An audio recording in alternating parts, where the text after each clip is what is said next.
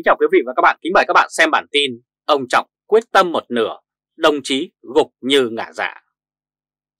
Câu chỉnh đốn đảng là câu nói cửa miệng của Nguyễn Phú Trọng từ hơn 10 năm qua. Tuy nhiên qua một thập kỷ hô hào chỉnh đốn đảng nhưng đảng vẫn không hề khá hơn.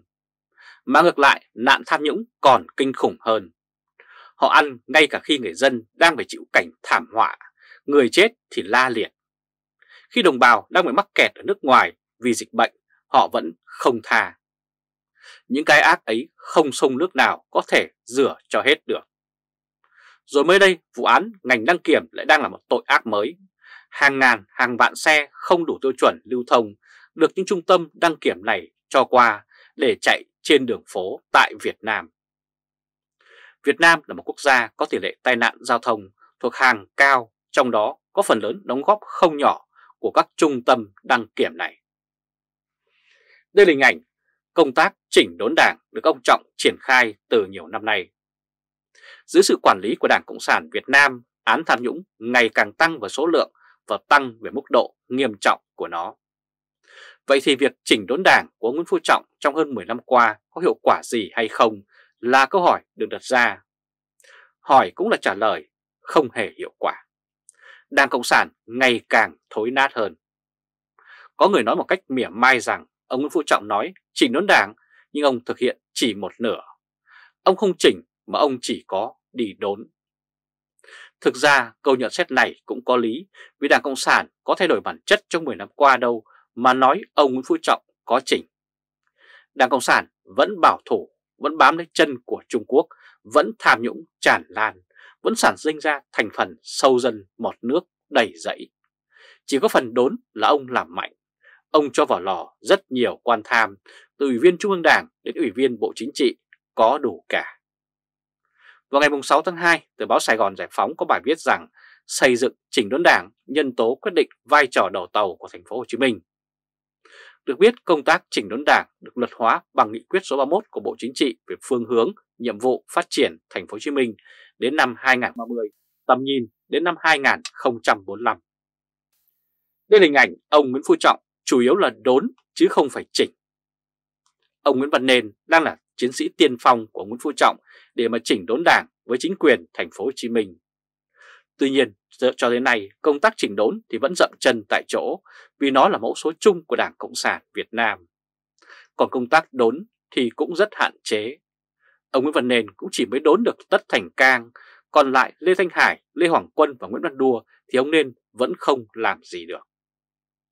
Ông Nguyễn Phú Trọng quyết tâm chỉnh đốn đảng là có thật. Tuy nhiên vì dư ý chí ông nghĩ rằng ông đã đốn ngã hàng loạt đồng chí của ông thì đảng sẽ trong sạch. Nhưng thực sự không phải như vậy. Tham nhũng trong Đảng Cộng sản Việt Nam nó lưng như sóng trào vậy. Lớp này tan thì lớp kia lại trào tới. Bản chất của Đảng vẫn là tham nhũng và thậm chí tham nhũng còn nghiêm trọng hơn trước kia. Ông Nguyễn Phú Trọng vốn là con người bảo thủ, duy ý chí. Ông đốn đồng chí như ngả dạ và đinh ninh rằng Đảng sẽ được chỉnh. Nhưng đâu ông có xem lại thành quả. Sau bao năm đốt lò thì Đảng của ông nhìn đâu cũng thấy củi, củi như rừng không thể nào đốt cho hết được. Đây là hình ảnh ông Nguyễn Văn Nên và ông Nguyễn Phú Trọng tại thành phố Hồ Chí Minh. Hiện đang có thành phần không nhỏ tung hồ ông Nguyễn Phú Trọng vì ông là người chống tham nhũng mạnh nhất của Đảng Cộng sản từ năm 78 năm cầm quyền.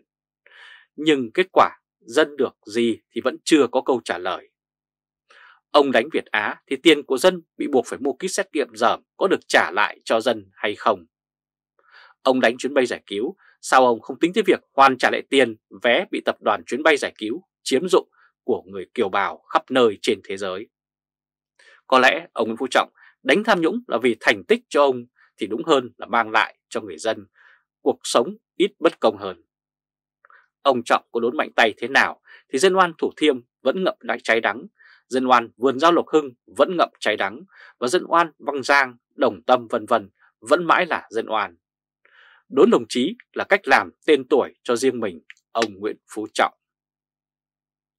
Quý vị và các bạn vừa theo dõi chương trình truyền hình trực tiếp của Lê Trung Khoa, Thời báo chấm với bản tin Ông Trọng quyết tâm một nửa, đồng chí gục ngã như ngả dạ. Quý vị và các bạn hãy chia sẻ video này cho nhiều người biết và bấm nút theo dõi YouTube và Facebook của Thời báo .de để luôn được cập nhật những bản tin mới nhất, nhanh nhất và trung thực nhất. Từ Berlin, Cộng hòa Liên bang Đức chào các bạn và hẹn gặp lại các bạn ở bản tin lần tới. Trung Khoa Thời báo .de Kính chào quý vị và các bạn, kính mời các bạn xem bản tin Thủ tướng Chính phủ khoe vợ giữa báo tin đồn liên quan đến Nguyễn Thị Thành Nhàn. Có một thực tế là từ khi lên làm Thủ tướng đầu năm 2021, ông Phạm Minh Chính chưa bao giờ đưa vợ đi cùng trong các chuyến công du trong và ngoài nước. Đây là điều mà dư luận thấy không bình thường, bởi hầu hết các quan chức của chính quyền Đảng Cộng sản Việt Nam, nhất là những người đi công cán nước ngoài, đều mang theo vợ khi đi công du. Tuy nhiên, suốt 2 năm qua, ông Phạm Minh Chính đi công du một mình, không dẫn theo vợ. Đây là hình ảnh vào ngày 9 tháng 1, lần đầu tiên ông Phạm Minh Chính khoe vợ. Tuy nhiên, tối ngày 9 tháng 1, ông Phạm Minh Chính đã phá luật. Ông dẫn theo phu nhân đến chủ trì cuộc gặp mặt chiêu đãi đoàn ngoại giao đầu năm mới 2023 nhân dịp Tết Quý Mão. Đi theo ông Phạm Minh Chính có những nhân vật lớn trong Bộ Chính trị như ông Võ Văn Thưởng, Thường trực Ban Bí Thư, ông Trần Thanh Mẫn, Phó Chủ tịch Thường trực Quốc hội, ông Phan Văn Giang, Bộ trưởng Bộ Quốc phòng, ông Lỗ Văn Chiến, Chủ tịch Ủy ban nhân Trung ương Mặt trận Tổ quốc Việt Nam, ông Nguyễn Trọng Nghĩa, trưởng ban tuyên giáo Trung ương của Đảng Cộng sản Việt Nam và bà Bùi Thị Minh Hoài, trưởng ban dân vận Trung ương. Ông Lê Minh Khái, Phó Thủ tướng Chính phủ, ông Trần Hồng Hà, Phó Thủ tướng, ông Trần Liêu Quang, Phó Thủ tướng Chính phủ và ông Nguyễn Khắc Định, Phó Chủ tịch Quốc hội, ông Nguyễn Đức Hải, Phó Chủ tịch Quốc hội. Ngoài ra còn có ông Sadi Salama, Đại sứ đặc mệnh toàn quyền của nước Palestine và vị đại sứ đại diện trưởng đại diện các tổ chức quốc tế tại Việt Nam. Như vậy, ông Phạm Minh Chính đã ra mắt phu nhân với đầy đủ quan chức trong và ngoài nước. Và mới đây, trang tin chính phủ cho biết sắp tới ông Phạm Minh Chính và vợ sẽ có chuyến thăm Singapore và Brunei từ ngày 8 đến ngày 11 tháng 2 năm 2023. Có lẽ từ lúc này trở đi, ông Phạm Minh Chính đã trả lại danh phận đệ nhị phu nhân cho vợ của ông. Cho đến nay, phương tiện truyền thông vẫn không bật mí vợ của ông Phạm Minh Chính họ tên là gì. Thực tế bao nhiêu năm nay báo chí nhà nước không phải là nơi tin tưởng để người dân tìm hiểu sự thật về Đảng Cộng sản. Hầu hết người dân tìm đến những tin tức ở ngoài luồng, tuy rằng tin tức ngoài luồng nhiều lúc bị vênh với tin tức của nhà nước. Và chuyện về gia đình ông Phạm Minh Chính được tin tức ngoài luồng khai thác chứ tin ở nhà nước thì vẫn im bặt. Đây là hình ảnh lần thứ hai phu nhân ông Phạm Minh Chính xuất hiện trước công chúng và lần đầu tiên bà tháp tùng ông chồng thủ tướng đi công tác ở nước ngoài. Thực ra việc một thủ tướng mà không mang theo vợ đi công du thì hoặc là ông thủ tướng đó không có vợ hoặc có vợ mà xảy ra tình trạng ly thân. Thực tế trên thế giới hầu hết là như vậy và nguồn tin từ bên trong đã từng cung cấp cho Thời báo chấm biết rằng vợ chồng ông Phạm Minh Chính rơi vào tình cảnh tương tự.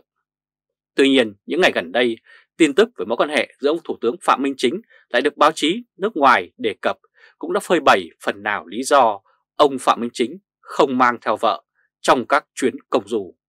Vào ngày 30 tháng 8 năm 2022, tạp chí online cho biết rằng công ty cổ phần tiến bộ quốc phòng quốc tế IEC mà bà Nguyễn Thị Thanh Nhàn là tổng giám đốc đang bị ông chủ lò Nguyễn Phú Trọng, Tổng bí thư Đảng Cộng sản Việt Nam đưa vào tầm ngắm đặc biệt của chương trình chống tham nhũng của chế độ. Bản tin viết với những phát hiện mới trong cuộc điều tra thấy có những dấu hiệu có thể liên quan đến ông Phạm Minh Chính. Từ tháng 6 năm 2022 đã có thông tin mật được người từ bên trong cho Thời báo chấm biết ông Phạm Minh Chính vốn là dân hoạt động tại Romania. Bà Nguyễn Thị Thanh Nhàn cũng là dân tỉnh báo dưới vỏ bọc ngoại giao và vỏ bọc doanh nhân. Mối liên kết của ông Phạm Minh Chính, bà Nguyễn Thị Thanh Nhàn và Tổng cục 2 là mối quan hệ từ lâu. Khi mà ông Phạm Minh Chính còn là trưởng ban tổ chức của Trung ương Đảng ở khía cạnh nào đấy có thể xem bà Nguyễn Thị Thanh Nhàn là đồng nghiệp của ông Phạm Minh Chính. Đây là hình ảnh Nguyễn Thị Thanh Nhàn khó có cơ hội về Việt Nam ngoại trừ bị Tô Lâm bắt cóc. So về nhan sắc, có thể bà Nguyễn Thị Thanh Nhàn không hơn phu nhân ông Phạm Minh Chính. Tuy nhiên, về tài năng thì xã hội khó có người phụ nữ nào có thể sánh được với bà Nhàn. Giữa lúc thông tin không chính thức, chú ý đến bà Nguyễn Thị Thanh Nhàn và đường dây lợi ích của ông Phạm Minh Chính, Giữa lúc người ta đặt dấu hỏi về mối quan hệ của ông Phạm Minh Chính và Nguyễn Thị Thanh Nhàn, thì ông Chính đã công khai dẫn vợ đi công du. Có người cho rằng đây là chiêu bài của ông Phạm Minh Chính, chiêu bài đánh lạc hướng dư luận.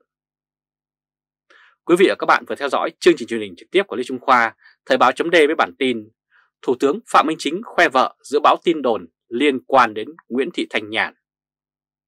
Quý vợ, quý vị và các bạn hãy chia sẻ video này cho nhiều người cùng biết và bấm nút theo dõi YouTube và Facebook của Thời Báo .de để luôn được cập nhật những bản tin mới nhất, nhanh nhất và trung thực nhất. Từ Berlin, Cộng hòa Liên bang Đức chào các bạn và hẹn gặp lại các bạn ở bản tin lần tới. Trung Khoa Thời Báo .de